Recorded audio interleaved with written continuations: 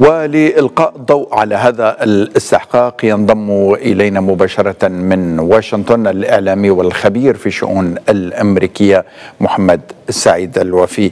سي محمد صباح الخير. صباح الخير حسام. آه إذا يعني بداية ما هي قراءتكم للنتائج الأولية لهذه الانتخابات لحد الآن؟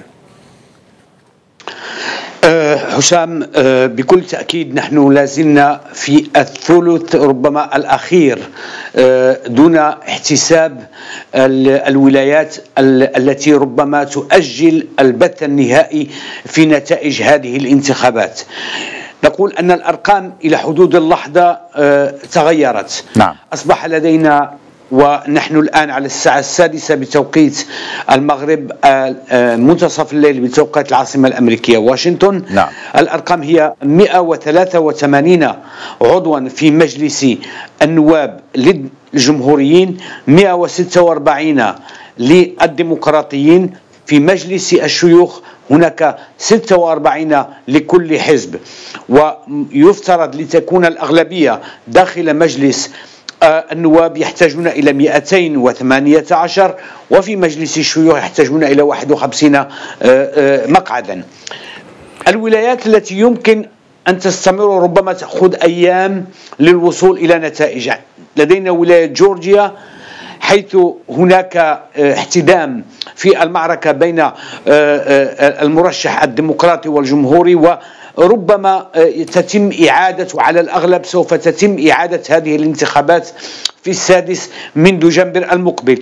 بنسلفانيا كذلك تعرف احتداما في المنافسة والأرقام متقاربة جدا ببضع ألاف. نيفادا كذلك ننتظر النتيجة وولاية ويسكونسن. هذا يعطينا الانطباع بأن المعركة على مجلس النواب ربما تصبح محسومة خلال دقائق من الآن. ربما يستطيع الجمهوريون الحصول على 218 وهذا توقع ليس إلا اللهم إذا حصلت بعض المفاجآت. لكن داخل مجلس النواب المعركة فعلا محتدمة أنا أقول ونحن الآن في تقريبا في نهاية هذه السهرة في الثلث الأخير 46 مقعدا لكل حزب داخل مجلس الشيوخ. هذا يؤكد أنه ليست بذلك المد أو تسونامي الأحمر الذي كنا نتوقعه في ظل تدهور الاقتصاد في ظل ارتفاع مؤشر التضخم في ظل كذلك وجود نوع من التدني في شعبية الرئيس جوزيف بايدن والتي لا تتجاوز ال 42% ممن هم راضون على أدائه. كل ذلك كان يدفع النشطاء وكذلك يدفع المختصون في مجال نعم. استطلاعات الرأي إلى التوقع بليلة. دعني أقول حمراء سوف تكتسح الخريطة الأمريكية. هذا الأمر جاء نسبيا وفق التوقعات فيما يتعلق بمجلس النواب وأنا أكاد أؤكد أن مجلس النواب سيكون مع مع صباح الغد سيكون جمهوريا.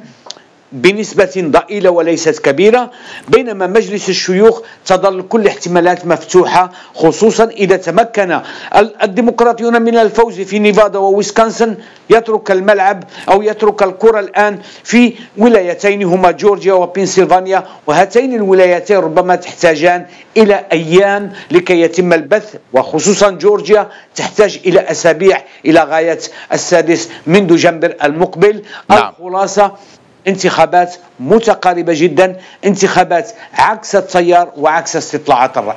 طيب سيد محمد يعني سنفتح قوسا بالنسبة لسير العملية الانتخابية. يعني كثر الحديث في الشارع الأمريكي عن نزاهة هذه الانتخابات. يعني كيف كانت الاجواء المرافقة لهذا الاستحقاق فيما يتعلق بهذا الجانب؟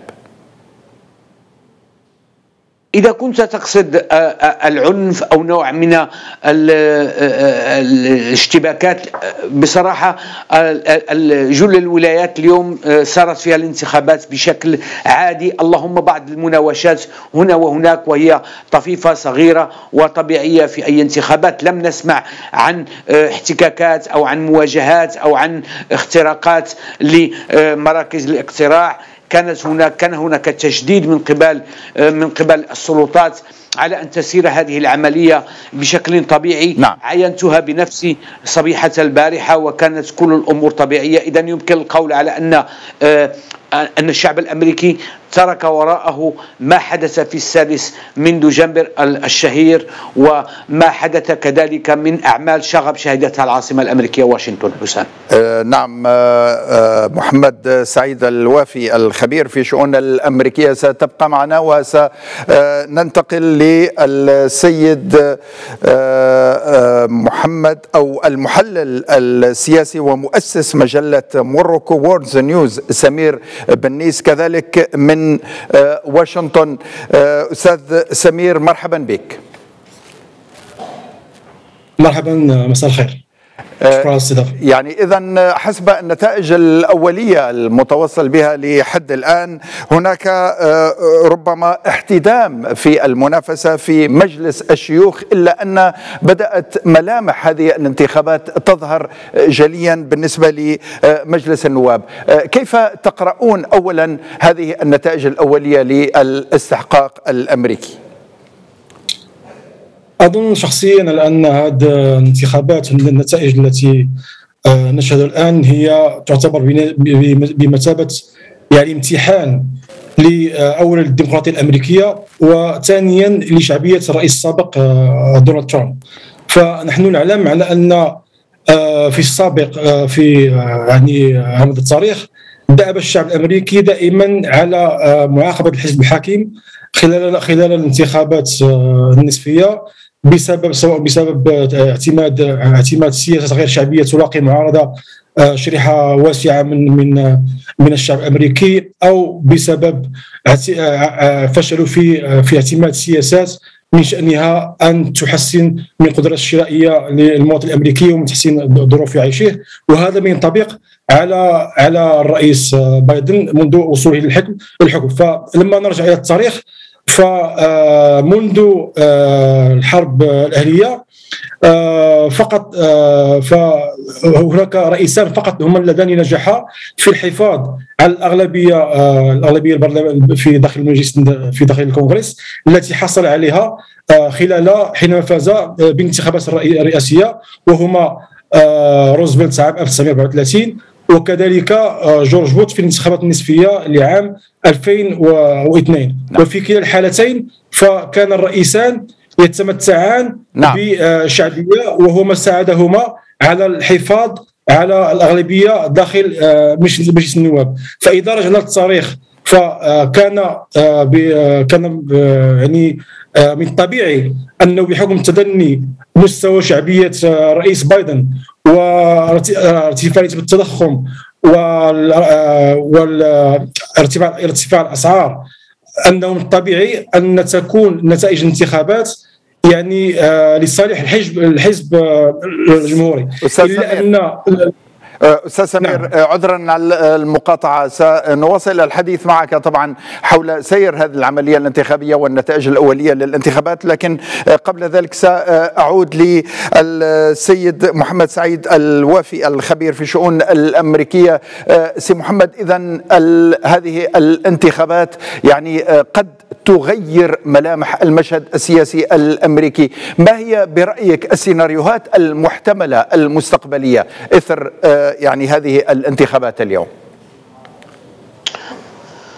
حسام إذا تمكن الجمهوريون من الفوز بمجلس النواب سوف يعرقلون سنتين مقبلتين للرئيس جوزيف بايدن. نعم. وسوف يعرقلون سياسته سياسة الإنفاق سيعرقلون قدرته على تمرير أجندته للسنتين المقبلتين. والأهم من كل ذلك إذا تمكن الجمهوريون من من الفوز بأكبر قدر من ال ال ال ال ال الولايات كحكام الولايات فإنهم سوف يؤثرون كذلك في طريقة آه، تدبير الانتخابات الرئاسية المقبلة سنة 2024 والمصادقة على النتائج. ونحن نعلم أن المصادقة على النتائج تبقى بيد حاكم الولاية وبيد سكرتير الشؤون الخارجية داخل كل ولاية على حدة. هذا من جهة هذا من الجهه الداخلية. الإنفاق آه، بكل تأكيد وإن وإن استطاع الديمقراطيون الحفاظ على الأغلبية داخل مجلس الشيوخ إذا فقدوا مجلس النواب تكون الفرصة الذهبية قد ضاعت من يد الرئيس الأمريكي آه، جوزيف بايدن أن يمرر آه، في السنتين الأولتين كل برنامجه السياسي الإنفاقي الاقتصادي والذي لا يبدو أنه وشى أو قدم أو رشح رشحت عنه أي نجاحات بحكم أسباب موضوعية وأسباب أخرى طارئة أهمها جائحة كورونا والحرب في أوكرانيا. الحرب في أوكرانيا هي إحدى العلامات التي ربما سوف تتضرر تضررا كبيرا إذا سيطر الجمهوريون على مجلس النواب أو الشيوخ على حد سواء. إذ أنهم سوف يعرقلون إمكانيات الدعم المادي للقوات الأوكرانية وبالتالي آه، تداعيات النتائج هذه الليلة لن تكون فقط على الاقتصاد لن تكون فقط على الداخل الأمريكي بل ستتعداه إلى الانتخابات الرئاسية المقبلة وتتعداه بكل تأكيد إلى العلاقات الخارجية الأمريكية مع أوروبا العلاقات الخارجية مع دول شرق أوروبا وخصوصا أوكرانيا. وربما وأنا آه، ممن يتوقعون أنه إذا ما آه، خسر بايدن الأغلبية في أحد المجلسين فسيكون عليه آه، يبقى أمامه حل وحيد هو محاولة التهدئة مع بوتين والتهدئة مع روسيا وإيجاد مخرج للأزمة الأوكرانية. كل الاحتمالات والسيناريوهات واردة لحد الآن آه، أستاذ محمد في ظل أنه آه، لم نتعرف بعد على النتائج النهائية خاصة فيما يتعلق بمجلس الشيوخ. شكرا جزيلا الخبير في الشؤون الأمريكية محمد سعيد الوفي كنت معنا من واشنطن. كل الشكر لك على كل هذه المعلومات والتوضيحات.